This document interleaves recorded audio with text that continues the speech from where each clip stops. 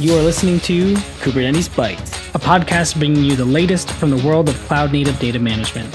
My name is Ryan Wallner, and I'm joined by Bhavin Shah, coming to you from Boston, Massachusetts. We'll be sharing our thoughts on recent cloud native news and talking to industry experts about their experiences and challenges managing the wealth of data in today's cloud native ecosystem.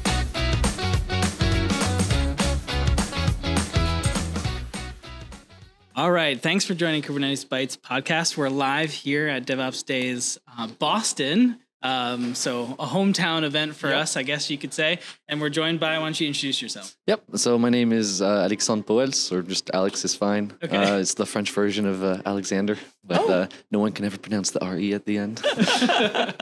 Uh, yeah, and I'm here because I, I did a, um, a, talk yesterday about sort of my vision on how to model uh, platform engineering and developer platforms. And I have this whole thing about drawing an analogy between um, what a computer, the layers that build up a computer, the layers of abstraction that build up a computer, and how you can translate that into how you can build layers of abstraction in the same way in your in your cloud infrastructure. Awesome. And I, attended that talk, Alex. That was a good one, right? I, I like even when you started the talk, you said you have already helped a couple of organizations build these IDPs.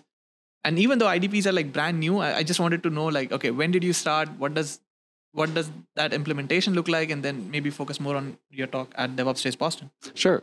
Um, so I think you know people say that IDPs are a new concept. I think IDPs are just a word applied to a concept yes. that we've been trying to build for the last 20 years or so. But uh, yeah. I would say it started. You know, when my first job out of college, I was working at IBM on the um, IBM blockchain platform team, and we were looking to automate sort of the creation of uh, customer blockchain networks. And that's when I first started working with infrastructure and automation. And I was pulled into the dark side of Kubernetes. I still remember my manager explaining to me, all right, this is what a pod is. It's a collection of containers. And I'm like, whoa, that's crazy.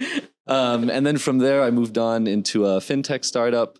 And I was originally supposed to do blockchain stuff with them, but as a startup does, you know, we ended up having to, to wear many hats. And one of them was I was like, I'm sick and tired of manually putting this thing on an EC2 so I'm going to automate this for you.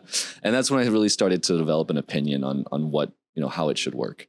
And initially, I'm very passionate about open source and supporting open source products. And uh, I just see a lot of uh, companies using as a service systems, yep. you know, because they're like, oh, it's faster and we don't have to maintain it. And um, I keep hearing this term TCO, right? Total cost sure. of ownership. Yeah. Like, well, we could self host and it'd be cheaper on a monthly basis, but then we have to support it. And what's the amount of work involved with that? And I just fundamentally didn't believe that necessarily. I was like, I just don't think it's that hard to maintain these, these self hosted products. And so I wanted to go out and, and prove that. And I wanted to automate the life cycle of, of self hosting open source. And that's sort of what I've done with, with the developer platform that I've built. Gotcha. So is it just you working on the developer platform or you have a team now. No, so it was just me for a long time, okay. and I did the classic engineer thing when you make a startup that you should never do, and I've known that the hard way, which is like I want to write code. Uh, so I, I, I developed this platform in a vacuum based on my experiences having built developer platforms in the past for about a year, and then I was like, all right, I guess now it's time to sell and market it.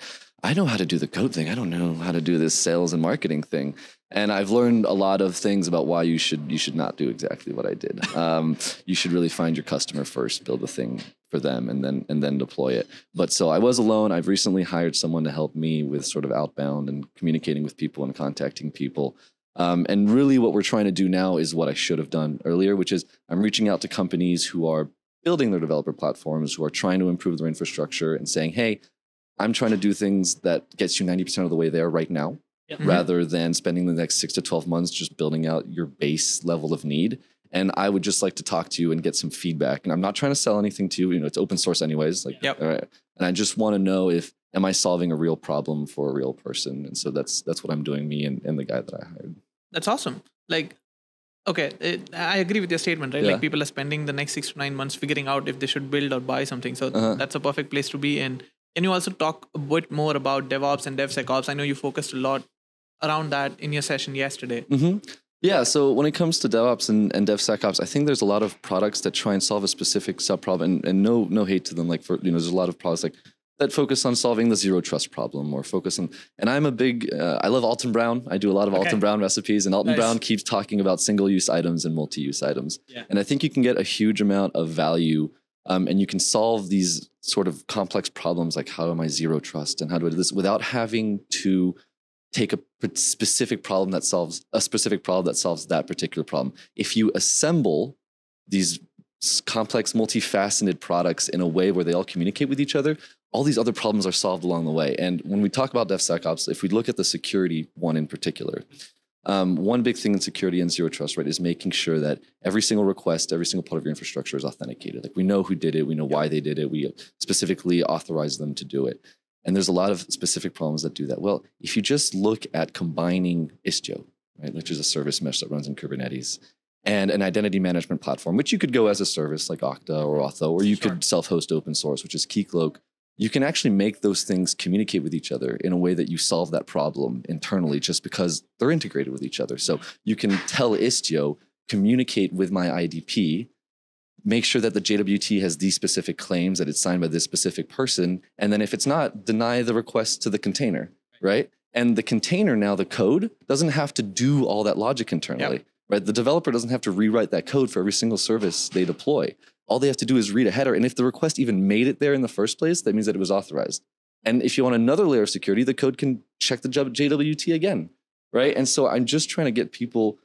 My whole platform is about taking these basic blocks and combining them in the best way possible. That each of them does multiple things in the best way possible, and you don't have to go out and get these specific products.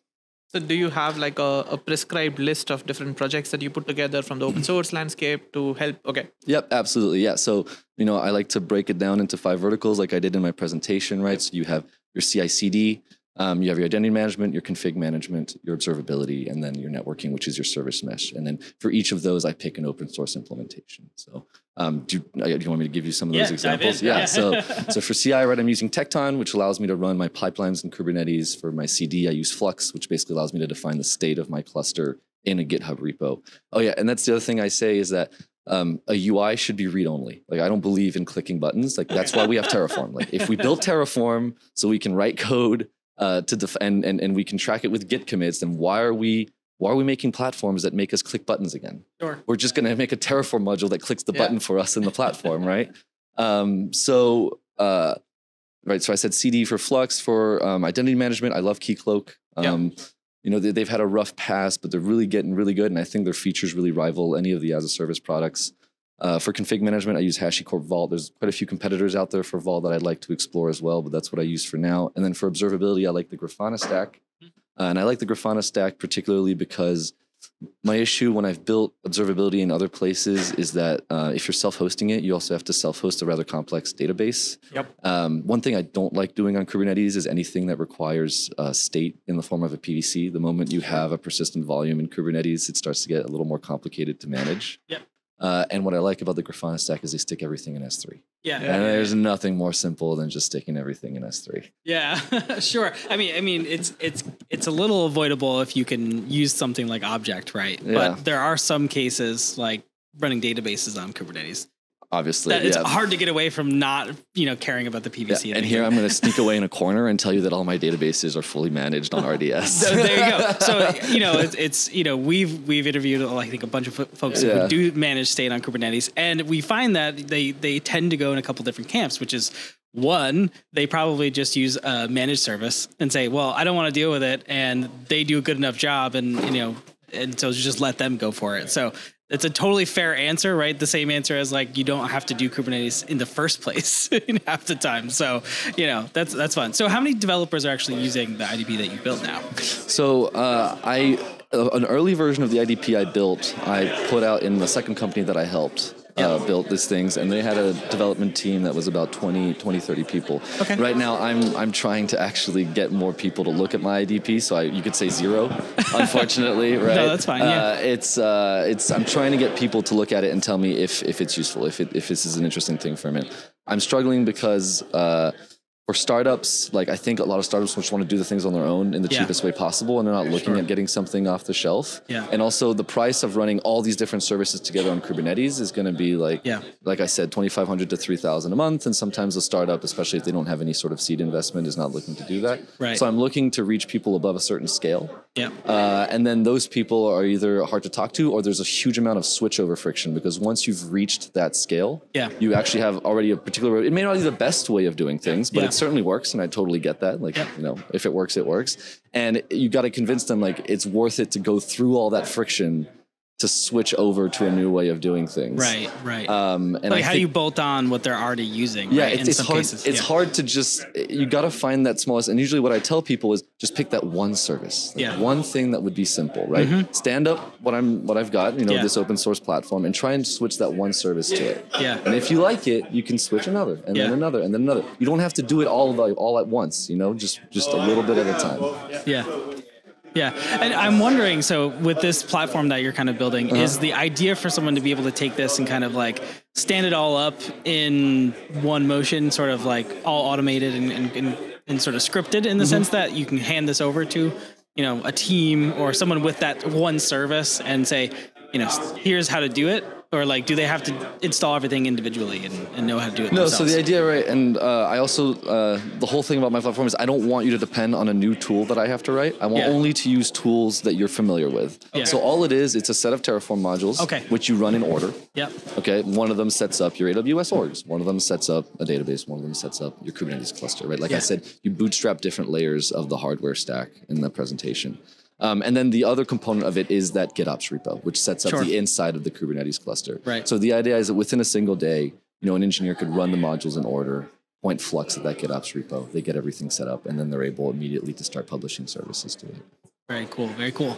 Yeah, and so Alex, one question around like IDPs, right?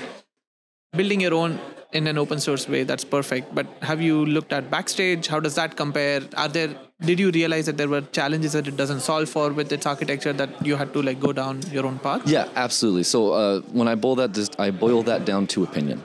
So I think Backstage tries to be un- as unopinionated as possible, which is awesome because uh, you can basically build it to do it anything you want, any way you want. Yep. Uh, the way that I build things, I'm saying, all right, I'm claiming that there's a better, a best quote unquote way of doing this, which I know I'm, immediately someone's going to come and hit me with a hammer the moment I said that. But there's a generally good way of doing this. And what's difficult about building IDPs is not necessarily finding tools. There's a lot of great tools that do a lot of different things. It's, like I said, linking them together Yeah. in the best way possible. And when you start linking things together, you immediately start implying opinion of I think they should be linked this way. And so what I would say the major differentiator between what I built is I'm saying rather than spending a bunch of time customizing backstage, mine works right away because it's built in an opinionated way and they're all linked right out of the box in a way that makes them provides you all these really cool features like really high security Yep. and your CI pipelines work right away. You don't have to write them right now. All the interfaces have been set so that you just have to write a Docker file, push your code, and it just starts working. Um, so yeah, it would be it'd be opinion. That would be what I would say. It's- Okay, I- that makes sense. Yeah. Okay, so I guess one last question for me. Have you attended DevOps Days Boston before, or is this your first time? And how, how do you like it so far? So this is my first time. I used to live in Somerville uh, Okay. when I worked uh, near Boston. I went to school at WPI. Okay, yeah, But uh, this is then. my first DevOps days. Um, I, I, you know, I live in Lisbon, so it was a bit of a travel, but I decided to make it into a bit of a trip. You know, see all the friends I haven't seen in a while. Gonna Yeah. go to New York. Um, this is my first, but this is my first DevOps days, and I'm really, really happy to be here to meet you guys. I've had lots of fantastic conversations with really smart people, um, and I'm, I'm hoping to also learn from them and maybe plug in some of the improvements they've they've suggested into my own platform. Yeah, I feel like the open spaces do a really good job at giving you that platform to say, here, I want to talk about this topic, or maybe Yeah. there's one you've already been interested in. So, um, how do people find out more about what you're doing? Like, how do they connect with you or the project you're working on? Yeah, absolutely. So you can either reach out to me on, on LinkedIn. I'm just uh, AJ Pauwels, you know, Alexander Pauwels. You can go to my website. The name of the platform is Bitmantle, B I T M A N T L E. There's a whole philosophical idea behind Bitmantle. We protect it. It's like the mantle of the earth. It's like the foundation of your infrastructure. But I like it. I like it. Yeah. Uh, so bitmantle.com works. Um, and then you can also, since it's open source, you can go to, I'm currently switching, I'm in the process of switching from, originally my company was Pauwels Labs. Um, because that was just sort of like, oh, I want to put all my ideas in one place, Pauwels Sure, Labs. And yeah. then Bitmantle is like the product that came out of it. Uh, there's been other products that came out of Pauwels Labs, more based in like the data security and privacy space. Right. But yeah, so Bitmantle or just contact me on LinkedIn. And my, my email is alex at bitmantle.com. Awesome. Well, thanks for joining us here and uh, enjoy the rest of the show. Thank you very much. Have a great day.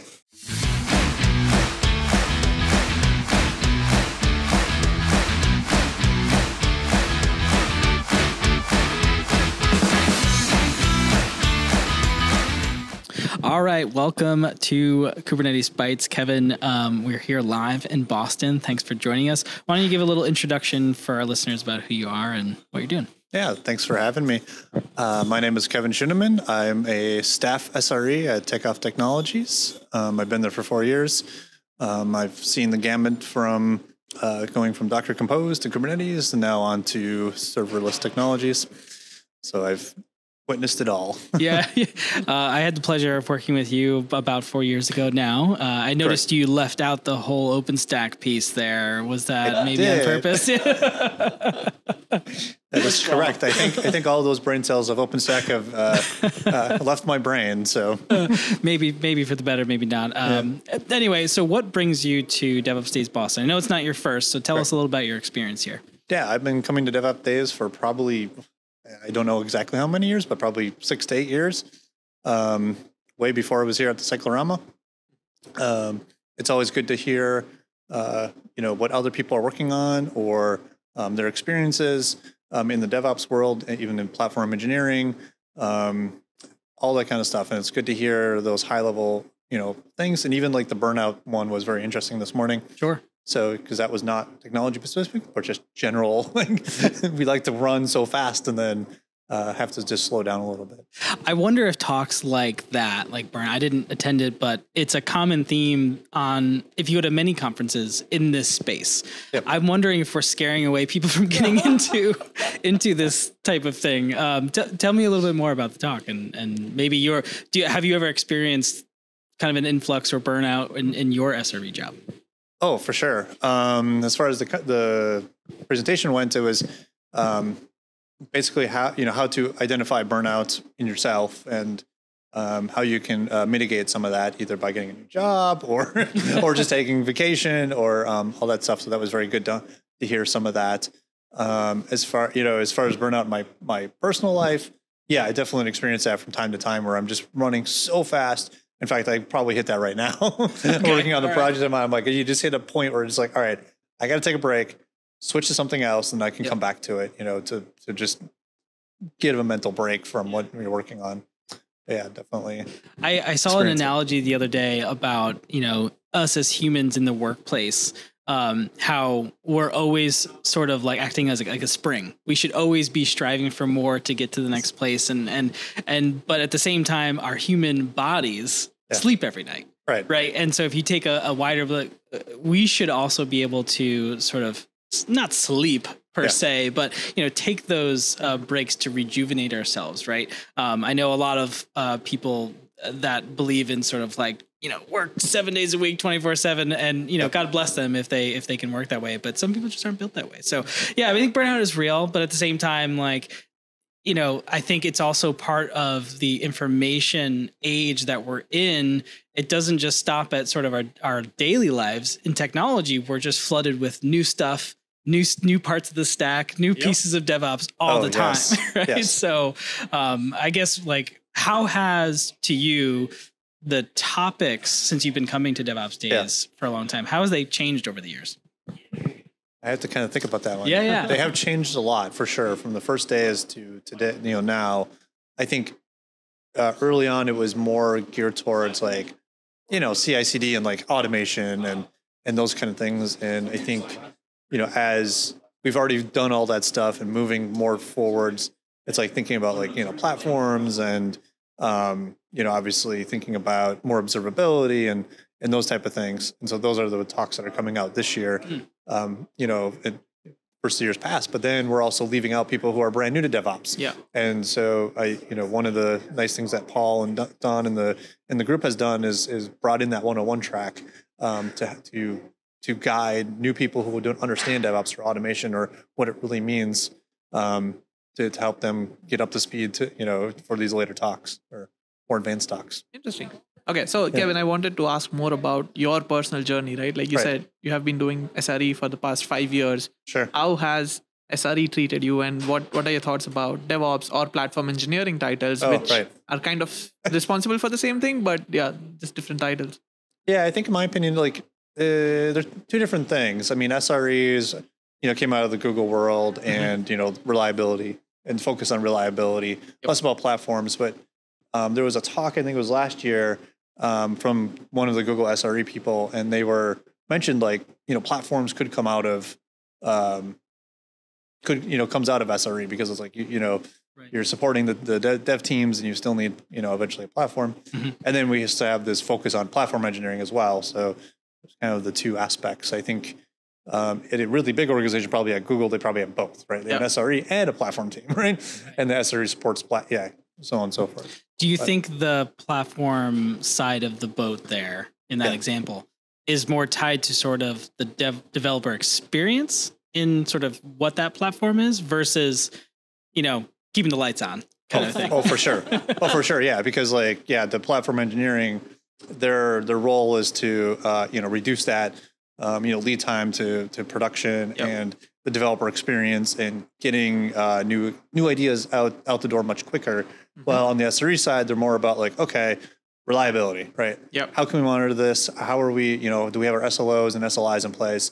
And um, you know, if it goes out of whack, we're gonna need to make sure we're you know coming back and fixing that. So they're not they're two things but slightly different. Like, but and they all do and they're all focused on automation and making sure um, you know develop, developer lives are much easier and they can focus on getting their features out the door. Gotcha. And Yep. like yesterday in one of the talks, right? I think the first talk that Pete did, uh, he spoke about how before DevOps there was an IT team and there was a dev team, Correct. and that the whole po- point of DevOps was to make sure that they work together and we break that break down that barrier. Yep. And now they're with after DevOps, the next iteration sounds like platform engineering, where there is again that central team who's building that platform for these DevOps and developers to to push code on. Yep. Do you think that it's cyclical and we're going back to the old ways of doing things, or this actually has a benefit? I think it's a slippery slope. So if a platform engineering gets too overzealous, they can like create more of a, a, a locked world where you can only do it this way, Yeah. and the developer teams can't do it. I mean, I you know when a platform team emerges, they should really think about okay, here's the golden path, right? So this is the easy way, but we can you can either provide to the platform so you can expand it to like what you want, or um, or outside that box, like you know you can go way outside that box and just do what you want.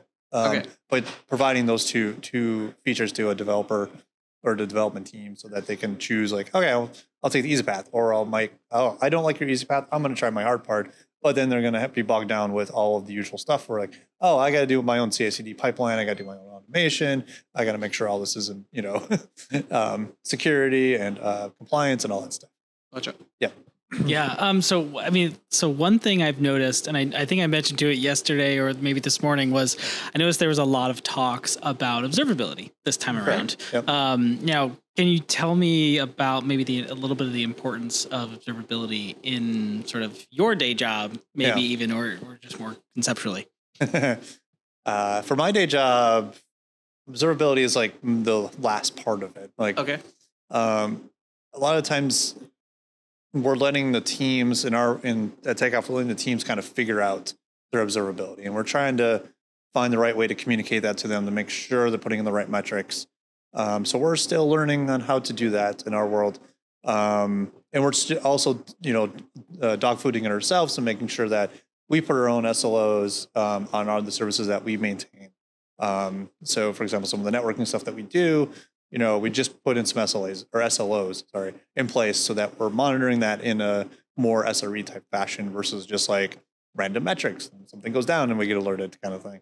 Because that obviously leads to burnout as well when we have too many alerts. So as part of your day job, right, do you see like the SRE team giving a lot of feedback to the developers? Because we have heard terms like observability driven development. Yep. Like do you see that metrics that you care about for from a reliability perspective going back into the dev cycle and making its way all the way in the application stack? Yeah, we're trying to figure that out. Okay. we I wish we had that um, that kind of uh, feedback, but we're we're still still trying to figure that out. Okay. So, yep. awesome. So, do you have a team of uh, just SREs, or do you also have the split between SRE platform, those kind of things? Uh, we just have SRE. Okay. Um, the way that our domain structure is set up, we have, you know, obviously our product domains, and then we have our domain production domain, which is half SRE and half like uh, QA Okay. um, or SDETs. And and so we're trying to like merge together to be like one big kind of SRE team, but they're two different things because um, the QA team was kind of put in place as a release engineering team Okay. to put out uh, essentially a, a release train every two weeks. We're trying to get away from obviously that because that's not DevOps focused anymore. uh, and, when everybody's on board of that. It just uh, slowly kind of getting there, right? Um, as a architecture. It's like uh, if there's another name for that, maybe extreme waterfall or like super fast waterfall. Yeah.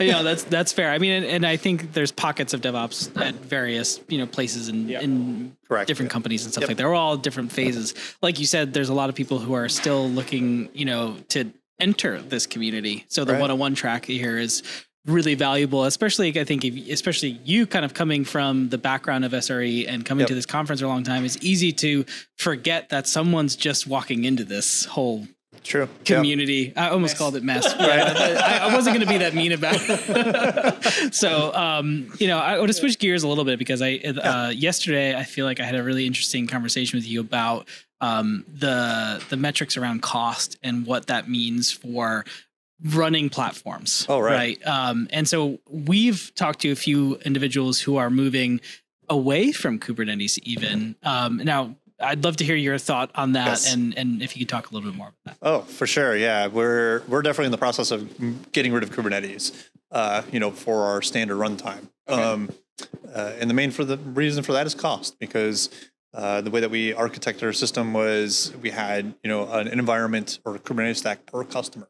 And so when you have ten customers, you have ten Kubernetes clusters, and Ah, uh, okay. each one of them Yeah. costs a lot of money. Yeah. Um, and and then we have you know multiple environments, right? So static environments that don't need to be around as well. so we had a couple of projects going on. One was to make that all ephemeral, right? So we can make ephemeral environments, uh, bring up GKE, deploy all the stuff, give it a new you know base domain name, and away we go, right? Um, that took a while to build. We're we actually excited that we built it and got it out there. Um, and that saved a lot of money on our non-prod environments or Mhm. de- development environments, or in QAI is what we called them. Okay. Um, so that saved a ton of money. Um, and but we're also trying to focus, you know, rewrite our platform into Go from Clojure, and with that, we're focused on um, serverless technologies. So cloud functions, cloud run, because we're a Google shop, and um, by doing that, it's much more. You know, obviously, you don't pay. You only pay for usage at that point. and our usage is much is very bursty. So it's never a constant. You know, we never have a constant number of you know, Okay. requests per second. So so that that's where it comes into play, where it's like, well, you know, we only pay for when we when we use it. yeah. Interesting. So you of scenario. still see the benefits of containerization, and that's how Yep. developers are building code. But then instead of Correct. managing Kubernetes clusters, you just let Google orchestrate them whenever they You got it. Okay. yep.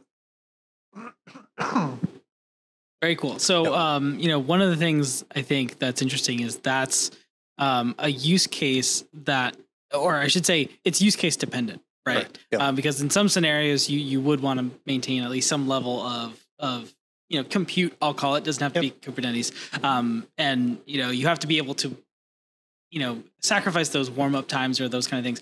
Um, have you chosen um, the Go pro- programming language for specific reasons? I'm, I heard you mention that. I'm curious about that.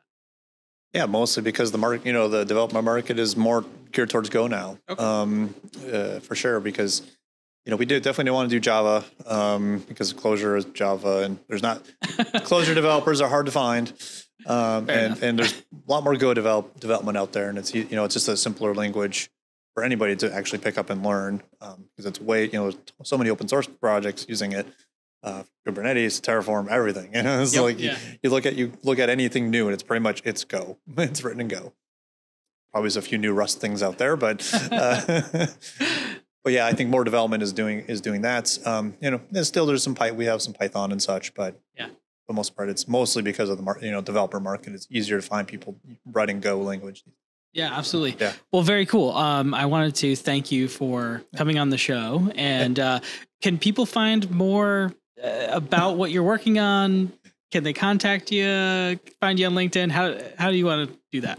Yeah, unfortunately, I, I just fly underneath the radar. So, um, on, but I. I don't blog post. I don't. This is my first podcast, so. Um, but yeah, you can reach out, reach uh, you know, reach out to me on LinkedIn. Yeah. Um, I can you know give uh, you know give the give the guys a uh, my LinkedIn information. And- Sure. Yeah. Yeah. Absolutely. Well, I appreciate it again, and thanks for coming on the show, Kevin. Excellent. Thanks for having me. Thank you for listening to the Kubernetes Bytes podcast.